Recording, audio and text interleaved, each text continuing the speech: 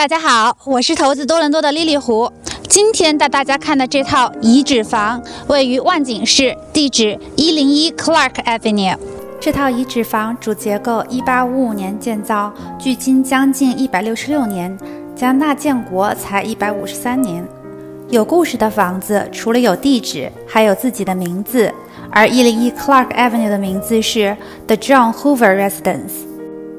加拿大建国之前是英国殖民地，美国革命后，英国为巩固殖民地的霸权，希望通过出售或转让王室土地来吸引居民，以确保人口健康成长。一八零七年，Peter Anderson 得到了一块二百英亩的土地，Lot 三十四，几个月后，用一百五十英镑的价格卖给了 Uzil Wilson。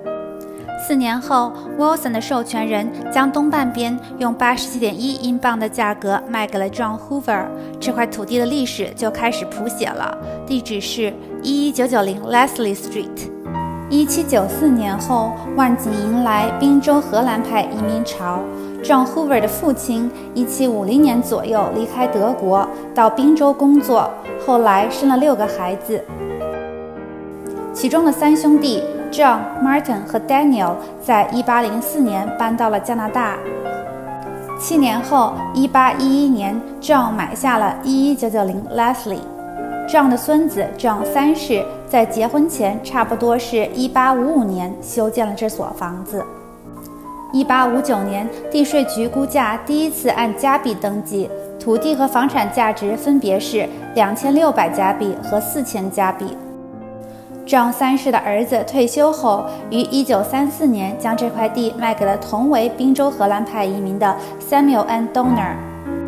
1945年，Ward 家族买下了这里作为他们的度假屋，而土地则租给周围的农民耕种。Ward 给这里起名 Oscroft Farms 农场。他们酷爱收集马车，后来还将很多马车藏品捐给了万景市博物馆。后来，这个房子被闲置了。一九九七年，住在一零一 Clark Avenue 的 Stellock 夫妇带着两个孩子，觉得住在目前的房子里越来越挤，想换大的房子。朋友建议他们可以考虑找一个快拆除的遗址房，大概一加币就可以做产权过户，然后把房子移过来。Stellock 夫妇联系到了负责遗产房的协调员 George Duncan。找到了这套老房子，把它搬到了101 Clark，并在后面加建了一部分，于1999年完工。Stellock 家族在这里居住了19年，2016年将这套房子卖给了现在的屋主丁氏家族。大概1710年左右，大量德国人在滨州定居，带来了他们本土的原木建造法，俗称滨州荷兰派或滨州德式风格。宾州荷兰派风格有很多特别的元素，让他们和其他风格，比如英式风格区分开来。烟囱在房子正中间，门窗不对称的开口，门在偏近中间的位置，一边一扇窗，另一边两扇窗。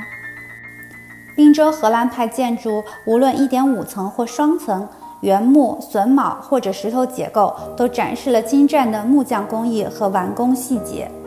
这些手艺在兼顾实用性和稳固性的同时，在北部加拿大恶劣的天气下，仍展示了简单的优雅。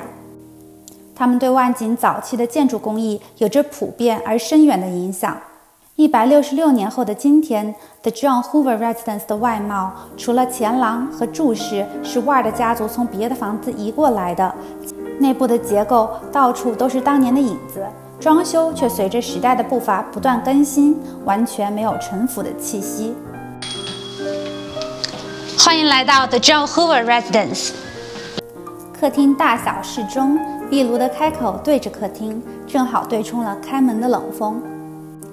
餐厅可供六至八人共进晚餐。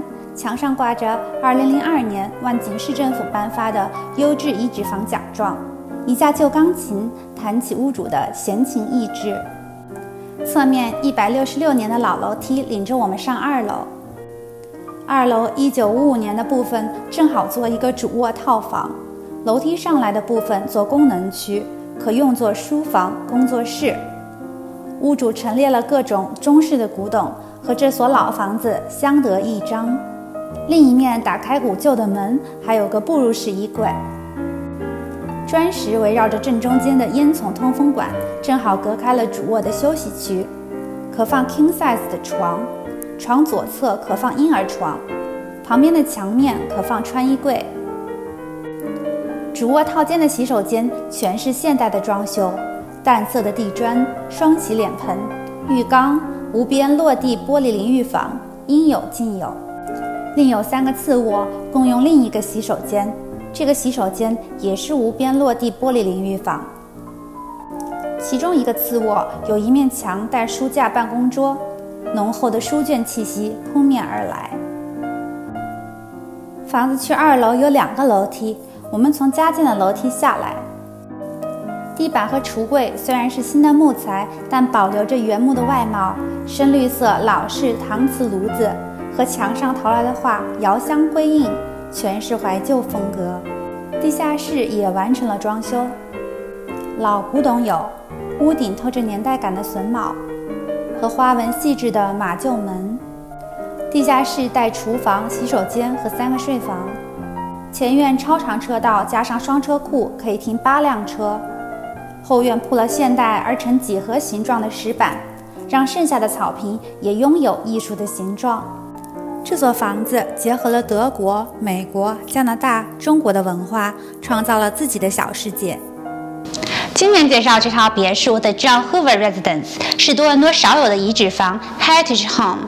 房子一百六十六年的历史，记载了最早 John Hoover 家族的四代人和后面每个家族的故事。住在这里，我们可以看到家族的传承，世代更替也生生不息。每个住过的人都留下了蛛丝马迹，而建筑本身也是无声的陪伴者，拥有过去喜怒哀乐的回忆。如果您喜欢今天的故事，请记得点赞、收藏或转发。想了解更多多伦多的房产，欢迎关注我。我是投资多伦多的莉莉胡，投资多伦多，投资您的未来。我们下期见。